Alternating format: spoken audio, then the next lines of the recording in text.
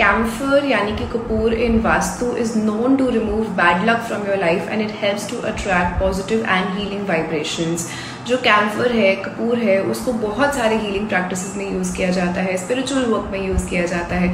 तो अगर आपको कोई भी नेगेटिविटी फील हो रही है, नज़र दोष की फीलिंग आ रही है, या फिर घर में इन्वायरमेंट बहुत ज़्यादा नेगेटिव रह रहा है, जिस वजह से आपको बहुत प्रॉब्लम हो रही है, आपका स्लीपिंग पैटर्न जो है वो डिस्टर्ब रहता है नाइट रहते हैं, या फिर नेगेटिव ड्रीम्स आपको बहुत ज़्यादा आते हैं तो उसके लिए भी आप ये रेमेडी कर सकते हो। आपको नाइन ब्लॉक्स ऑफ़ कैम्फर लेने हैं और अपने मैट्रेस के नीचे रख के सोना है ये जो है प्रोसेस आपने डेली करना है।